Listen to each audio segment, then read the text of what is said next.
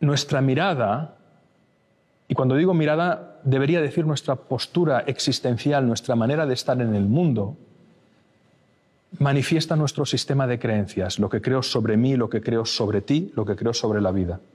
Imaginad que fuéramos capaces de hacer una mirada apreciativa sin prejuicios, que fuéramos capaces de concentrarnos en las bondades y en las virtudes, sin perder el pensamiento crítico, por supuesto, ¿no? Si nos pudiéramos liberar de falsas creencias sobre nosotros mismos, de prejuicios sobre el otro y de proyecciones, que es lo que el otro piensa que yo pienso sobre él, estaríamos mucho más cerca de algo fundamental, que es la realidad. Creo que era Marcel Proust que tenía un aforismo maravilloso que decía, aunque nada cambie, si yo cambio, todo cambia. Em, y eso tiene mucho que ver con la educación, con la transformación. ¿no? Cómo la realidad es la que es, pero tu cambio te lleva a percibirla de otra manera, a ver nuevas posibilidades, a crear nuevos vínculos. ¿no?